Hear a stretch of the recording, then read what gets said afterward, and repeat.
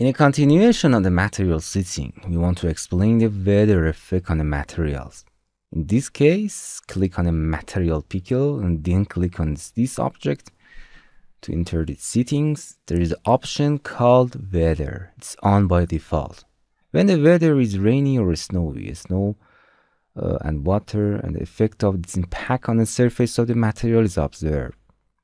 In the weather section, we can rainy the weather as you can see the wetting becomes appear on the entire surface of the water when it rains heavily. Also the effect of the raindrop hitting the surface. Okay. If we disable this option all this effect will disappear.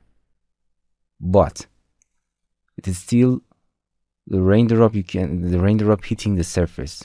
The rain recognize the this object and uh, does not going through it.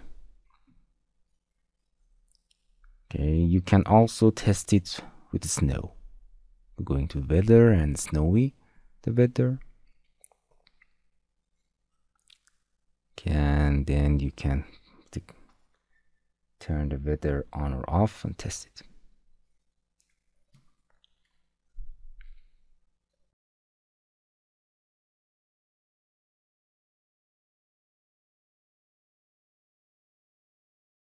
Hello my friends, to continue these tutorials on YouTube, subscribe us, like us and hit the bell icon.